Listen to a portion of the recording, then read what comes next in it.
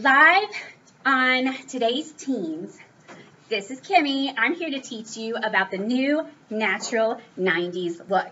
So we're starting with our clothes. I'm wearing overalls. Now you can do corduroy ones like me, or you can do like acid wash jeans, but make sure one of them is folded down because you don't want to look like you're actually like working, you know, as if. So you got the t-shirt on underneath it, and if you want to go a little grunge, because that's really in right now, you can add a flannel shirt around, tied around, and definitely like hiking boots, the brown ones, but make sure they're clean and new from a store, because you don't want to look like you're actually like hiking, because you know it's the grunge look, but you're not supposed to be like grunge, you know. So also accessories. Accessories are your friend, y'all. So choker, of course, and some other necklaces if you want them, and some bracelets and rings if you want them. The big accessories are the ones for your hair. You can use little clips. Clips are very cool right now. You can do what I'm doing with your hair. You can use special little clips. You could do a headband. You could do like two headbands or three headbands. You could even do like little baby clips because they're super cute too. Or you can have one of those big claws and do like a messy French bun sticking out the top. Only just like don't let it be really messy because ew, you know? Okay. Now, any kind of look, the most important thing, of course, is your hair and makeup. Now, this is the 90s, y'all. And the 80s was like so last decade. So that whole like red blush and blue eyeshadow, so pretty. not.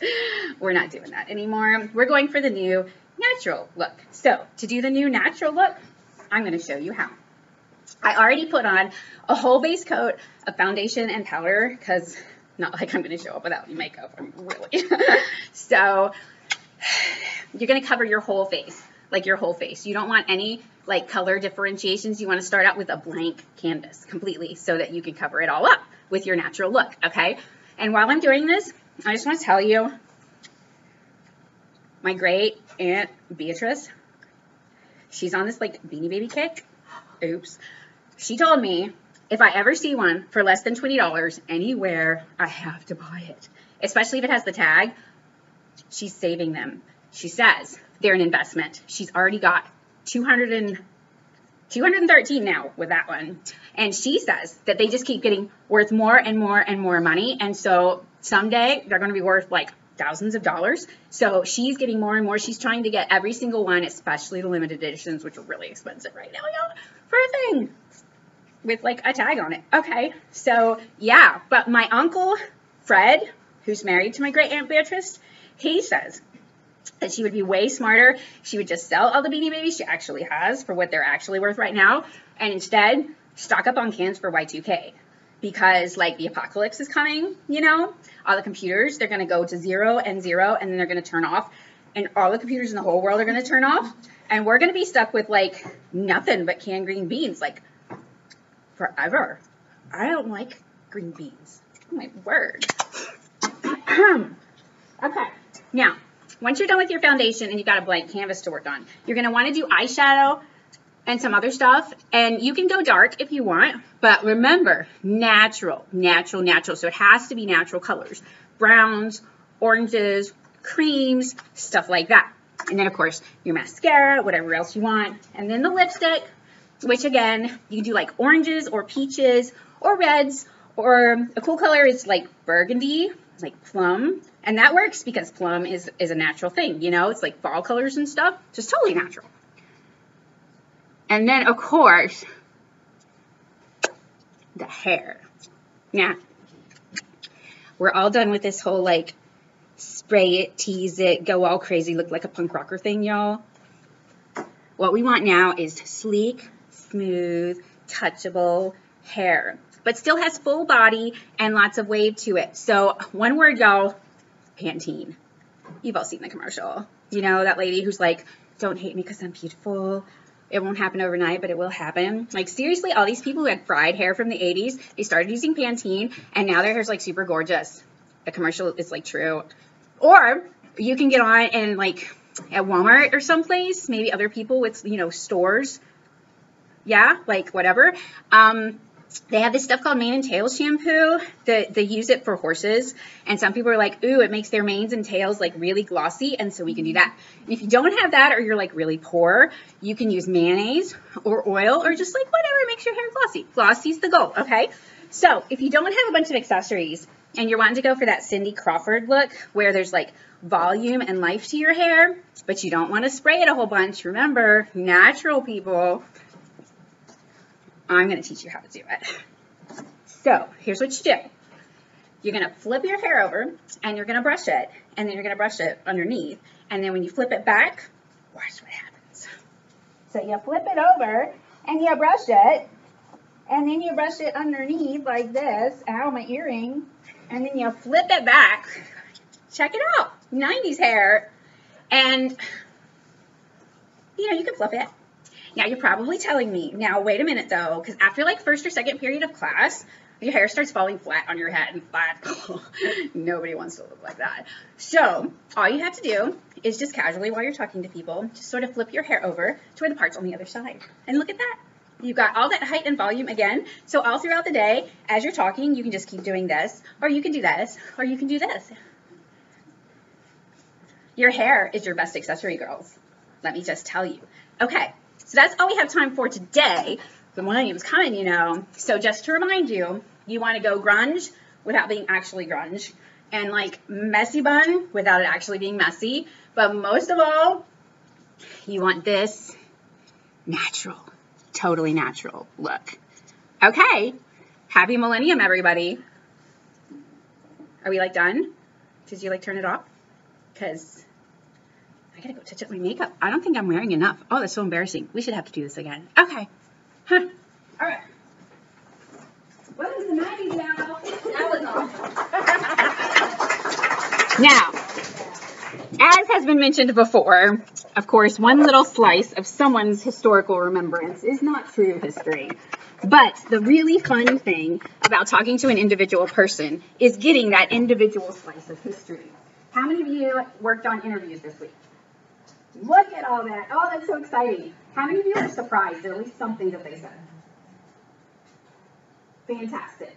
It's really exciting to hear from someone personally. One thing I wanted to mention though with this whole like natural look thing, some terms are relative. Okay, this is so rude. that's not, this is rude too, but that's okay. Um, for example, if you talk to somebody in the 90s and they were like, oh yeah, we did the natural look, and you're looking at them thinking, that's the most unnatural thing I've ever seen. You've got like three layers of paint on your face. But they're coming from the 80s, where the hair was like this and people were wearing blue and stuff. So to them, it was actually natural because they were going with natural tones. So sometimes when you're interviewing someone and you hit on a word, ask what that word means. Like say, for example, you're talking to somebody about the 60s and they say something like prejudice, you could say, what is what do you, what does that mean? What was prejudice like in the 60s? Because their definition of prejudice might be quite different than what the 2022 version that you hear. So, for example, somebody says, "Oh, well, America used to be a Christian country." Well, what does that mean? Does that mean religious? Does that mean everybody was a follower of Jesus Christ? Does that mean people wore decent clothes? Does that mean what does it mean? And so sometimes defining your terms when you're talking to these people gets deeper into who they are, what they think about, what they care about. It's really exciting. Interviews are so much fun because you get to kind of relive history with someone who is living history. One other fun little thing before I get started on all this is that when y'all see people now who are as old as me or older, you may notice that they're kind of stuck in whatever decade was their decade, like when they were in high school or in college, particularly the girls. The guys, you know, a t-shirt's a t-shirt. But for the girls, your age is when you care you care about being pretty or you care about being liked or if you're in a clique, you know, with a lot of peer pressure, you care about what they all think about you and stuff. And it kind of gets sucked into your head what is good, bad, pretty, not pretty. Um, so you'll notice women who were teenagers or college in the 80s sometimes still have that hair that's all like super tight curls and a boof right here. They still have it. That's the 80s look still. If you meet somebody from now the 60s, they probably don't have a bouffant, but they may still wear their hair up. The 50s ladies is that tight, it's like curled, cut right here, and it's curled all around their head. So those the ladies that are in their 70s and 80s sometimes look like that. It's kind of neat. And you know, some people might want to pick on and be like, "Oh, they're so old-fashioned." That was cool when they were your age, and so someday people are going to be looking at you and be like, "Oh, you're so 20." Exhibit A. My senior picture. My hair.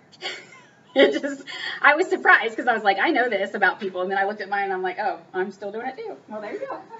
So it's interesting when I put all this gunk on today to show you, it felt so normal.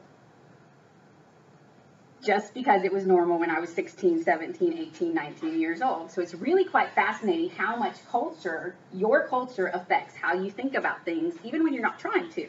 For example, um, excuse me.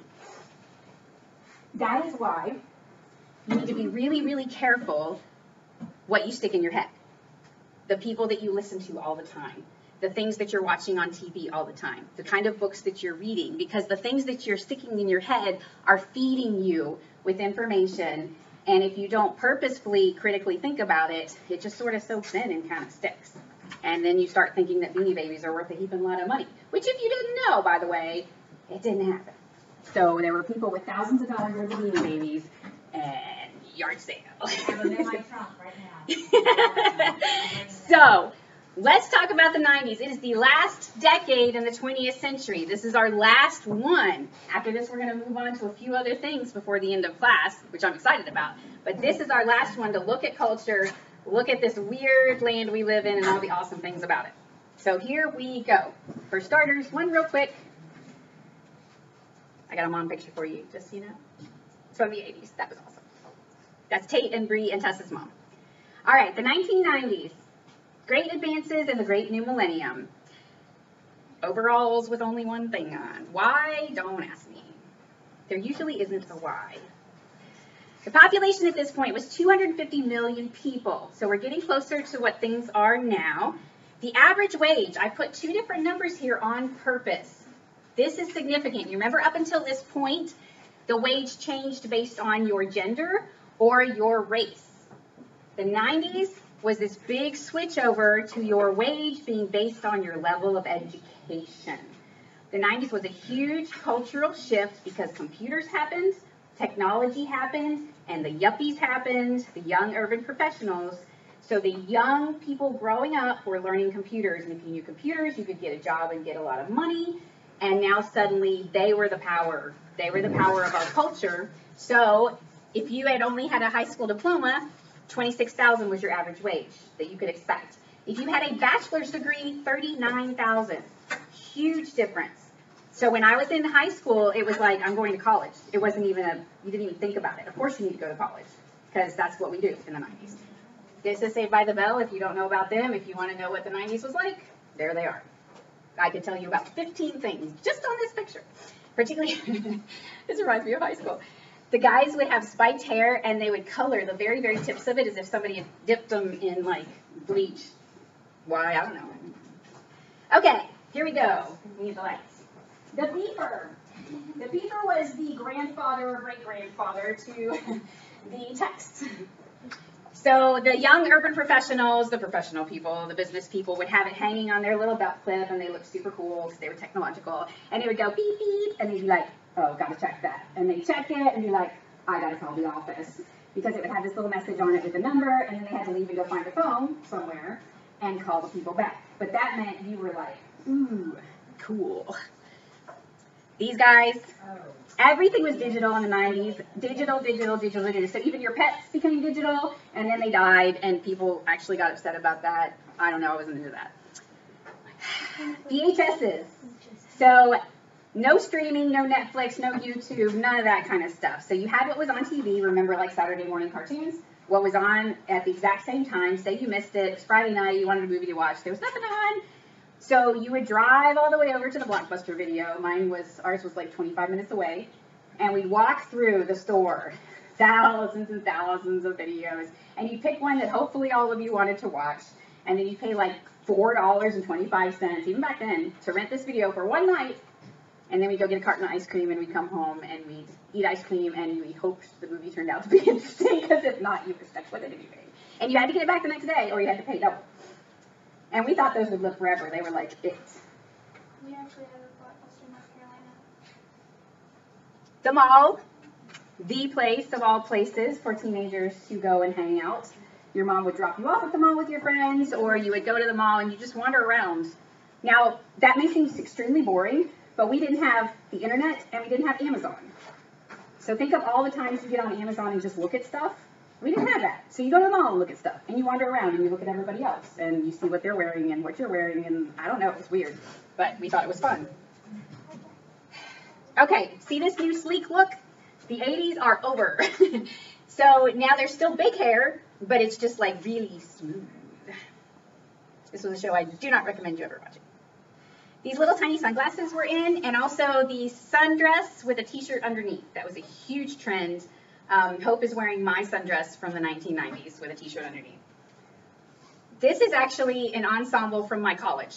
So they went from the 80s dresses with the shoulder pads and the ruffles and the collars to trying to look cool and preppy. Um, so they got these polo shirts that were really in style, and we were like, ooh, wow, y'all actually look cool. Now, but notice we still got big hair going on. Something you should know, decades in the changing culture, it's not like when it goes from 1989 to 1990, the whole place goes chunk and it all switches. There's time through where it merges from one to the other. Kind of like the civil rights, it was kind of more like 65 to 75 instead of 60 to 70. So if you're ever studying something and somebody's like, oh, that was the 90s, you're like, Mrs. Thigpen lied to me. This is my disclaimer, you can't sue me.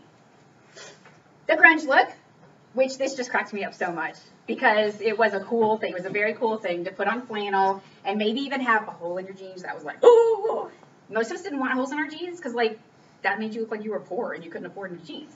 But bigger jeans, you know, all that kind of stuff with the with the round boots. But notice all these people are like gorgeously clean and all their hair is perfect. So the idea of that being grungy is just really funny.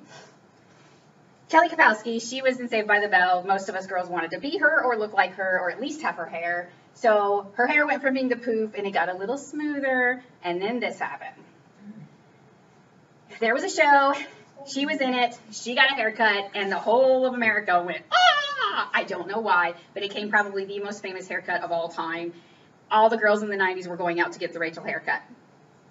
Again, why? And I don't know. And you guys, you got to turn to. The 90s was boy hair decade. So the vulnerable look. Oh, I'm so young and vulnerable, sad, and my hair is doing like this. Now, remember how I told you if you're watching a movie about a decade, that it tells you as much about the decade it's made in as it does about the history it's supposed to be? That Titanic movie that they made in the 90s, which I don't recommend you watching, he was in it, Leo boy. So their costumes were gorgeous right on 1930s, like beautiful, perfect, deserved an award, historically accurate costumes. But he had that hair, and she had 90s makeup, like plastered. So it's funny to me because if you look at it you expect it to be historically accurate, well, the movie wanted to be famous in the 1990s, not in the 1930s. If you watch again the one from the 1950s that we watched that was really, really good, you don't see all that 90s stuff going on. This is the guy I married. This is his senior picture. Look at the background. So people making jokes about the 90s backgrounds, they're not jokes. They're the real thing. so this was another 90s thing. Geometric shapes were really big and solid colors. Don't know why. Let's go. First Google server storage rack was made out of Legos. So the Google people got started. They were hanging out, coming up with ideas and stuff, but I don't think they knew that they were going to take over the world. Wow. So if you got Legos and you got a few ideas, who knows what might happen. This thing happened. That was like rich kid kind of stuff. The slap bracelet, which was invented by a teacher. Like, what teacher would invent something so annoying? I don't know. But maybe it kept him busy. Tickle Me Elmo. This was like the first doll that caused this huge horrifying craze where parents were beating each other up trying to get it. And I don't know why. He just, if you tickled him, he went, hee hee, you know, and so everybody wanted it for Christmas, and okay. This thing got invented, which may not seem that cool to you, but if you've lived your whole life without ever seeing one, that's a pretty neat thing to have in school. It goes with your Lisa Frank notebook, you know. The DVD. It was actually invented in the 70s, but it came to its own in the 90s. People started buying DVD players. Again, the rich people could do it. Uh, the rest of us still watched our VHSs. Coffee culture. I don't know if y'all didn't know this, but coffee culture was not a thing in America in the like 60s, 70s, 80s. If you drank coffee, you drank coffee, and that was like old people got to McDonald's and they drank coffee with each other. And then this thing sort of happened where like bookstores, Barnes and Nobles, Books a Million started having little recliners and little seats where you could sit and actually drink coffee. And then it was like, well, let's make the coffee special. Let's put chocolate in it and let's put, you know, donuts in it or whatever else they put in it to make it taste more like a dessert than coffee. And suddenly this thing started happening and now it's taken over the world. These things got invented. They were pretty cool. And then the Humvee limo, that was a thing for a little while. The cell phone, which as you know got invented before this, but it started becoming more accessible. I got my very first flip phone in the 90s. It was just for emergencies because those things were expensive. Still at that point you were paying for long distance calls. So like if you called or text, there's no texting. If you called somebody out of the state, it was going to cost you a lot of money. So you just didn't do it. So it's basically like you had this phone in case you were on the side of the road dying. This came out. Um, have any of you ever read this book? Yes. Anybody watch the movie? Both of them, phenomenal. Do both. I fell in love with this book as an adult. It was so good. Really, really good. She also wrote um, Number of the Stars about the Holocaust, Lois Lowry. She's an excellent writer. Read her book. Fabulous. This happened. Not necessarily so fabulous unless you really like watching people getting head, hit in the head with bricks and things like that. But everybody went around doing that stupid thing. Yeah, yeah, yeah. All right. Babe, if you haven't seen that, that's super adorable. Newsies, which I already recommended about the turn of the century. The Secret Garden, read this one? Watched it? Everybody should. Everybody should. In fact, there's an old one from like the 30s, I think, that went all goth. And it actually deals with things like the victim mindset and whether or not you can make your own choices or whether you're just entitled. It's really, it actually hits some really deep stuff. Um, Hook came out, that story about the dogs that went looking for their owners. That was interesting, sweet cry. This guy was in the news for. These are magazine covers. And that wasn't all of them. Now, he is not in the politics category because he wasn't in politics. It was just scandal and money and power and stuff like that. Now, politics. Okay, so 1988 was when Bush won the election. So he was the vice president. Oh man, he was the vice president to Reagan, if you remember, and he was the nice, quiet Mike Pence kind of guy. Really good sidekick, World War II hero. Um, so he won in 1988 against Dukakis, and he was known for the Disabilities Act, which I think is really neat. It's interesting. The people that were marching for the Disabilities Act used quotes this is Martin Luther King Jr.'s quote. It said, injustice anywhere is a threat to justice everywhere. I like that. I think that's neat. And then this one says, I can't even get to the back of the bus. So he was making the point that, you know, it's not just this minority group that's being overrun or overlooked or whatever you want to call it. So one of the reasons we have the handicapped places and the, you know, the railings and stuff we have now that they didn't have before is because of Bush. Good job. But other than that, Bush was kind of a quiet, unassuming sort of guy. He is basically known for three things, in my opinion, memory. Two things he said and one thing he did. First one, when he was campaigning at the, at the Republican convention, he said, read my lips, no new taxes. And then he got elected, and guess what happened? He raised taxes.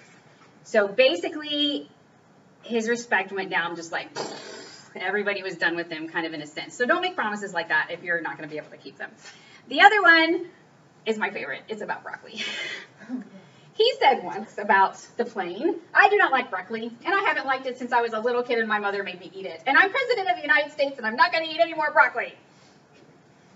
That's funny.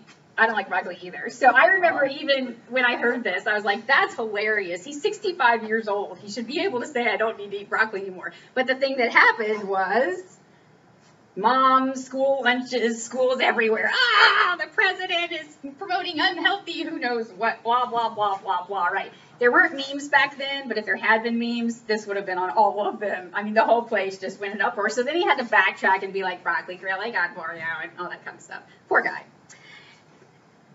the big thing, though, that in my opinion made him a hero during the time that he was in office was Operation Desert Storm. Now, Daniel Spivey brought his poster project early about Desert Storm. You can come up after class and look at these amazing pictures and facts so you can learn stuff that we don't have time to talk about. Thank you, Daniel.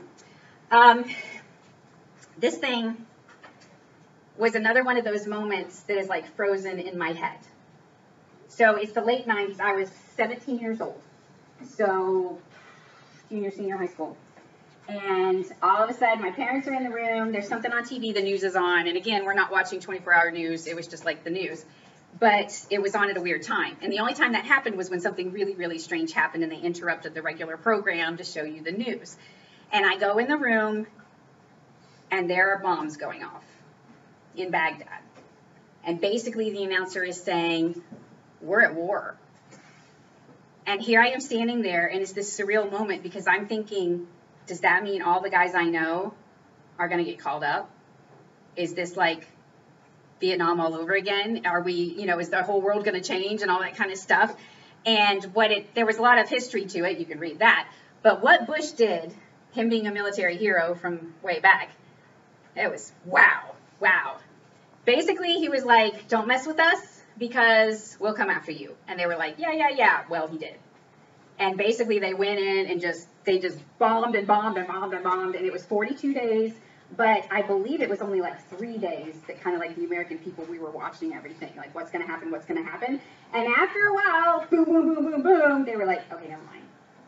Now that's an extremely simplified version of it, but it basically was like the best one, shortest, coolest war. Not cool, but. so um, it was either 82,000 or 88,000 tons of bombs that were dropped. So basically, the U.S. was saying, um, we got the weapons, you really don't want to mess with us. And I appreciated that what he did wasn't like, we're going to kill all your people. It was like, don't mess with us. We don't want to do this, but if you do, we've got the stuff, so don't do it. So I really respected him for the way he handled that. All right. Next election, 92. Now, would Bush have won again? I think so. But he ran against this young guy named Bill Clinton, who was already a controversial because he was a draft dodger in the Vietnam War, and he was he was like a frat boy. So he was basically like this young urban professional who, you know, he was rich, he was cool, he, you know, played the saxophone and he joked around with the guys and he flirted a lot and stuff. I don't know. He was just he was kind of more of what America's current thing was. Um, so he was running against Bush, who was the older, traditional, more Reagan, Republican, that kind of thing. Well, then there was this guy who showed up, um, who was like the chicken guy, and he would get on and do these commercials, and he had this like enormous amount of confidence. He was so confident in himself. He would make these commercials, and you're like, who are you, and what are you doing, and why are you messing this up? But basically, he split a lot of the votes, and so Clinton won which again, the place, you know, America seems to go back and forth about every eight, year, eight, years, which we'll talk about next week. But anyway, so the Republicans lost and he won, and obviously it wasn't a consensus. And then the scandals began. Um, well, actually, they began before he won, but yes, the draft dodging. This was him, I believe that was inauguration night, playing the saxophone. He would answer questions from press people about his underwear. He was just kind of like, I'm so cool. And his thing was, is the economy stupid? That was kind of like his campaign. Nothing like make America great. He was just like, money, y'all, don't be stupid. And the American public, that's kind of where they were too. The 90s were a very greedy decade. It was basically like, you can have everything you want. Credit cards exist now. So you can go get all the cool clothes, whether you can afford them or not. You can get the cool job with the computers. You can get the success. You can have it all. More, more, more, more, more. And he fit the American ideal at the time of the people who were kind of rising up in power, which was the young generation. Then there was this, which was the scandal with Monica Lewinsky. He had an affair. He lied about it. It came out. All these people started sending in accusations, which to y'all is probably no big deal. That's pretty normal. A bunch of people making accusations about a bunch of stuff. At that time, it wasn't as huge. I mean, we had Nixon, but that was a political thing. Um, there were things before with other presidents, but it wasn't huge, major. Everybody's talking about it like a big soap opera. This was a huge nationwide stinking soap opera. Went to court. He literally looked America in the face and said, I did not. And then, of course, the courts dragged on and on and on, and they brought all this smeary, smutty stuff all over the place, and everybody's talking about it. I'm like, oh, so. And then, of course, it came out that yes, he did. And so now we're back to does it matter if your president is a lying, cheating guy without character if he is good for the economy? So that's what Americans were talking about at the time. That was the subject to talk about. Does that matter or not? You can talk about it. Uh, talk about it at home. Talk about it with your parents. Ask them what they thought about all this. I'll tell you honestly, um, I was overseas at the time. This was on the front page of the paper in the country where I lived. It was a Muslim country. And it pointed out that this guy called himself a Baptist Christian. And where I lived, they talked about how their country was Muslim and this other country was Hindu and America was Christian. And so they thought all the stuff they got from America, including all the TV shows, that's what Christians acted like. So you remember how things are relative? If you ever talk for somebody overseas and they talk about Christians, how they would never want to be a Christian, don't think they're talking about Jesus Christ. Ask them what they're talking about. Because they might be talking about this. Okay, moving on. So let's talk about belief systems. Remember I told you it was kind of this greedy, have it all, me, me, me kind of decade. I think it was even called the me generation. Um, and people didn't seem to mind. Yep, exactly. So there was this big wave of new spirituality. And the New Age movement happened. And people thought it was New Age. Like, ooh, this is a new thing. Okay, one of the things that happened was New Age music. There was this guy named Yanni. He had big flowy hair and a mustache, and he thought he was really cool. And electric keyboards came out. And with that came the sound of synthesizers. You know, all these cool things you can do with a keyboard. Well, that was brand new. So everybody was doing all these cool things with the keyboard. So they got music with like sounds and, you know, really like, ooh, yoga stuff. So he would make these songs that had all these interesting sounds that you could do while you're meditating and nature sounds and all these interesting things. And that was New Age music then there were all the other new age things. So there were the crystals and, you know, the fortune telling got back into the thing. And that's when yoga became big and kind of incorporated coffee culture and just the whole thing. It just, the whole thing. Interestingly, though, if you have studied history, which you have, you know this is just recycled from the 70s. Remember the groovy people who were going to go be one with nature and be part of it all and all that kind of stuff? And that's just recycled from about 100 years ago with Henry Thoreau on Walden Pond, if you've ever read that, where he basically went out and lived in a tiny house and criticized all the people who were working because it's so much better to just know yourself. And that's just recycled from other stuff that goes all the way back to Hinduism, which is thousands of years old. So it's like super, super, super not new age. Remember, there's nothing new under the sun. But it wasn't the only thing that changed. And I want to spend a couple minutes on this slide because one of the things I noticed about the 90s, and maybe it's happened before, but it seemed to me like Christianity decided to try to be cool. What that meant? Well, for one, we started having t shirts with really cheesy sayings on them. Jesus, King of Kings. Pump You Up. Do you know that song, Pump You Up? And there was a shirt that had a big high top on it, and it said, Pump It Up for Jesus. Like, what does that even mean? That doesn't even mean anything. But it basically was like saying, I'm a Christian, but I wear t-shirts, so I'm still cool. I don't even know what we were trying, you know. Um, another thing was huge was I Kissed Dating Goodbye, which was a book by a guy who basically said it was like promoting courting, the courting idea. And it got to be a huge trend among the Christian culture. And it's not that that was a bad idea, but then he ended up recanting and something, something, something, something. So it started this whole fad thing, and then it fizzled down like fads often do. And so then it just made the whole thing look kind of silly. Um, Day bracelets, everybody was wearing those all over the place. Uh, it was good if it actually reminded you what would Jesus do, but if not, you know. I knew these friends who named their kid so that his initials were WWJ. um, the Left Behind series, huge phenomenon. Like millions and millions and millions and millions and millions of books sold. You will notice that movies and books that are extremely successful tend to play on either the things people want or the things people fear. So like Godzilla, or like in the 50s, there's all these movies about the nuclear warfare and it's going to make all the, you know, the cockroaches turn 20 foot tall and all that kind of stuff because that's what people are scared of. Well, in the 90s, it was the millennium. And so a lot of people were like, maybe this is when the Lord's coming back because it's the year 2000 and the world's going to fall apart. And so these books about the end times and about the rapture were like, huge hit.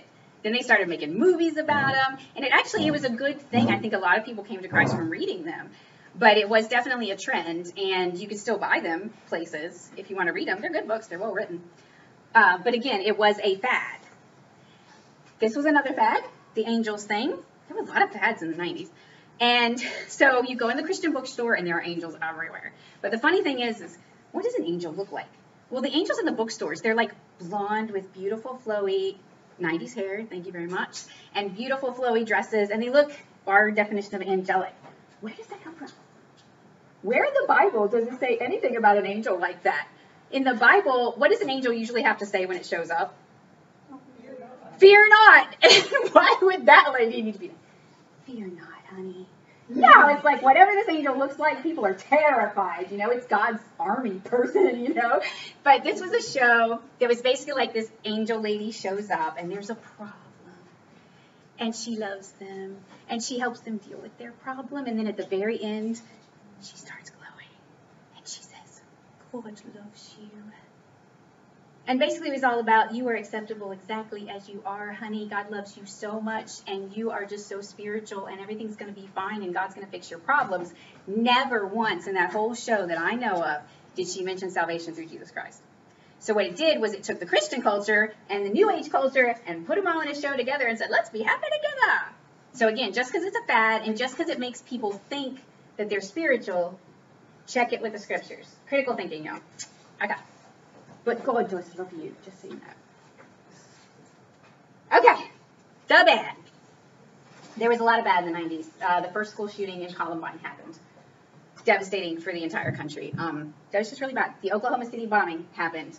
We assumed that was terrorism, and it turned out to be somebody in America. The Waco thing, which was a cult that the FBI tried to come in and fix, things got hairy. There was a shootout. People died. That was bad as well. It was it was a tough time inside our own culture. Slang. I put that in the bad category because I think 90s slang is some of the most annoying slang that ever came up with. I mean, applesauce, that's pretty cute from the 20s, you know? But like, talk to the hand thing? or like, that was so much fun. Not. It's almost like you have to roll your eyes when you say it, you know, like, as if, y'all, really. okay. So, like, don't be like 90s. But the You Go Girl, that did come from and you're all that in a bag of chips. So you can say that from that. okay. All right, the good. There was a commercial, had this little chihuahua, and he'd be like, yo quiero Taco Bell. So we all went around saying that. Okay. This guy, the goat, before there was such a thing as a goat, if you've ever seen him play, wow. The Magic School Bus. I didn't know it was this new. This was started, it was really cool. They wanted to have girls and minorities get more into science. I absolutely love the Magic School Bus. This book, Write it down. If you haven't read it or circle it on your thing or something like that. We listened to it on audio a few years ago and it's really, really, really good. It's like this philosophical metaphor. It's got these little mice and their cheese, but it talks about entitlement, victimization, purposeful choosing about your future, all that kind of stuff. Really good. And it's short, so it won't take that long. This happens. So email arrived, the internet, AOL when it first started, y'all just do not know. You would hook it up to your phone thing and go.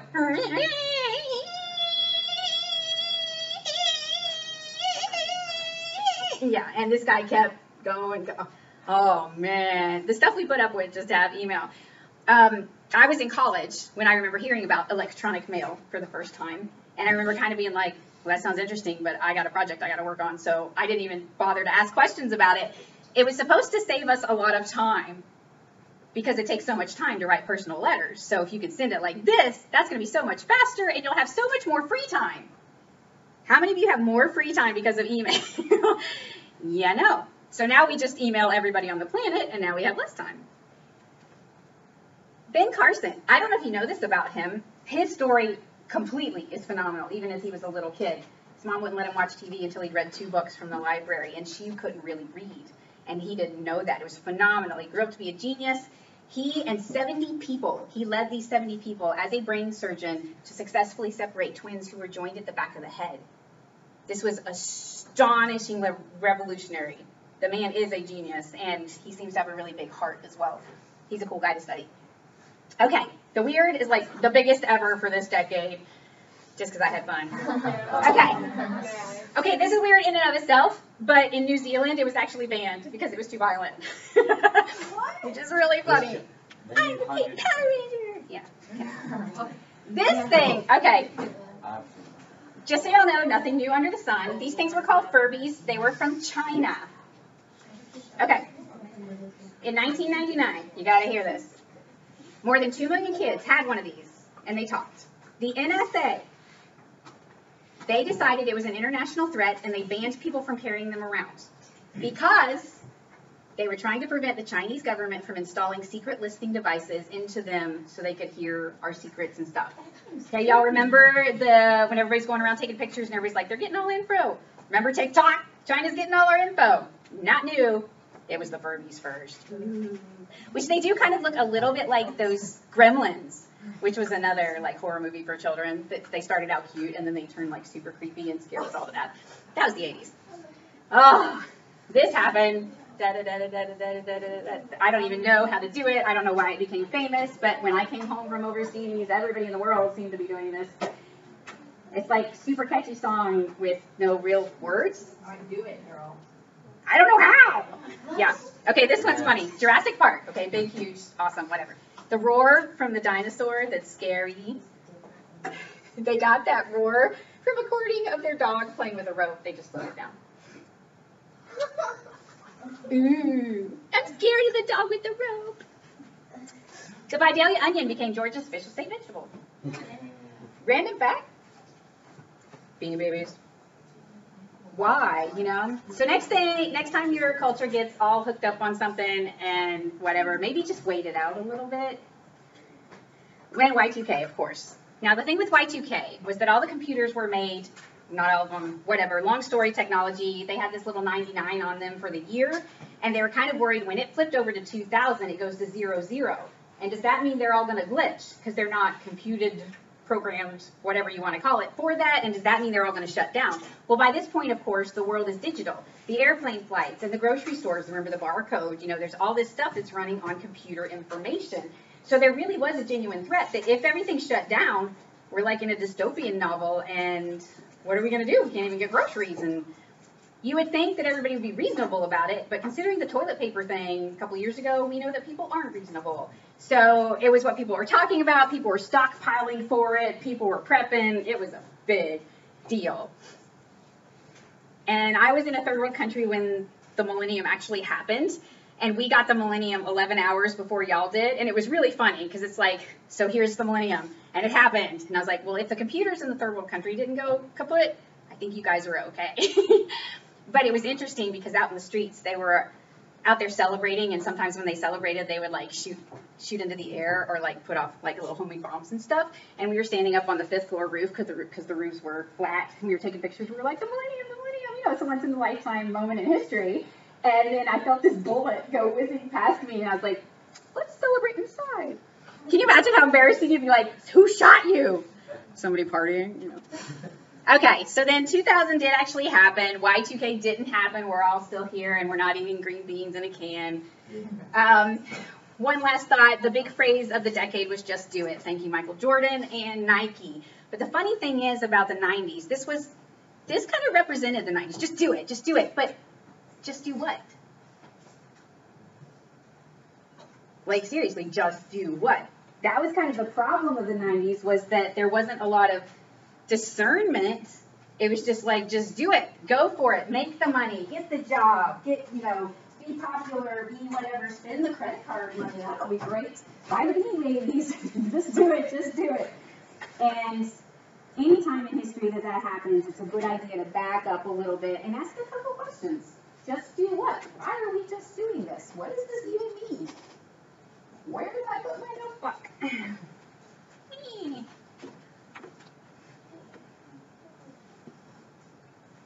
Okay, so lack of organizational skills. All right, so I really wanted to finish early so that we could talk about something. I know what it was. Flip your papers over. Just do it. That's what I should have written down. Just find your notebook. All right. So we have our nine lessons from history that we went over a few weeks ago. you've got a pencil or a pen. Let's go ahead and see how many of these you remember that we can fill in. So, number one.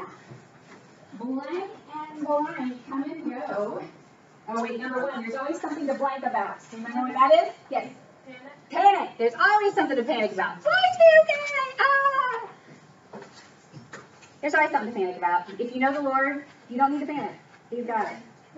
Number two, blank and blank come and go and are often ridiculous. Oh, fads and ideals.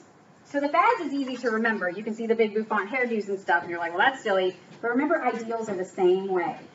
Ideals are fads just like clothing. They're just harder to spot sometimes. Number three, blank reveals who people really are. Crisis. Crisis, yes. So, when things fall apart, if Y2K did happen, we find out what the American people were made of. Number four, blank shouldn't surprise us because we live in a blank world. That one is a little harder, didn't you? Close. Think of the politicians. Yeah. Close. Ooh, I might get you on this one. Corruption. corruption. So it's the same as sin, but particularly when you're thinking about politics and stuff, expect people to be corrupt. Expect to see corruption. Because we live in a sinful, again, you know, world. That's just the way it is. And no matter what politician you vote for or how much you get the politics to be the way you want, the world is still going to be sinful. Number five, blank and blank are always with us. That sounds kind of creepy. The, the Furbies and the Gremlins in China. Um, injustice and oppression are always with us. Just like Jesus said, the poor are always with us. We're not going to fix world poverty. We're not going to change everything so that everything's all good because we live in a sinful world. So you do what God tells you to do and you leave the rest to Him. Number six, there will always be blank, blank about something. Ooh, that's a good one. That was kind of like the whole, well, if you want to be cool, you have to have name brands. And if you want to be cool, you have to be the same political party as me. And if you want to be whatever, what's that called? When your little flick says, I'm not going to be your friend if you don't have nice shoes. Like, what, really? Yes, peer pressure. There will always be peer pressure about something. And the thing to remember is, it's not just when you're a kid. You grow up and you get peer pressure about other things where you live, what you do, how you vote, where you go to church, what kind of music you listen to. Just skip all that and do what God wants you to do. History is always taught with what? Bias. Bias, yes. I'm teaching history with bias. There's no question about that. I'm trying to be honest about it, but it's definitely with bias. If I was a Norwegian, I'd be teaching different history. If I was a Norwegian, I'd be confused because I don't know what their history is. Number eight, there is blank new under the sun. Yes. Nothing. Nothing. Good job. Uh, there's nothing new under the sun. God said that a long time ago, and it's still true. We just keep recycling things. And number nine, blank is always active in history. Satan's always active in history. That's true. Who else? God, yes. So, that pretty much is history right there, what the two of you just said. God is always active in history. We'll be talking about that the very last week, closing things up, so that you can be encouraged and you don't have to panic about the next Y2K. Now, your assignment this week, should you choose to accept it, take a look back at the front of your worksheet. Basically, you're going to look at these nine lessons. I want to know, write down things you can think of in our present culture right now that fit these categories. For example, there's always peer pressure about something. What's something our culture right now peer pressures us about? Wearing masks. Okay, wearing masks, Vaccine, getting the vaccine. vaccines. What else? Like even ideals. Jumping off bridges. Go back to Japan. Accepting people as different genders than they really are. Okay, yes, super mega tolerance. Um, so yeah, there's peer pressure in our culture right now, and being able to recognize what those things are helps you to be above it, not sucked into the middle of it, and especially not to feel like your worth is in the middle of it. So I would like to know what you have to say. You can talk to your parents. It's a great, interesting conversation topic. If you're doing more interviews, you can ask them. So what was peer pressure back when you were a teenager? And you might find out the weirdest things, and you'll be like, wow, I would never give in to that. But then again, they're probably looking at some of our things and being like, wow, that's really dumb. I would never give in to that. So, if you wish, we're running out of weeks, especially for making points. So if you'll take a look up here, next week, y'all, we are going on a deep dive into politics next week. Deep into politics. Prepare to be shocked. I was shocked. Y'all asked a question way in the back, and I said I'd find out, and I had to do some research, and whoa!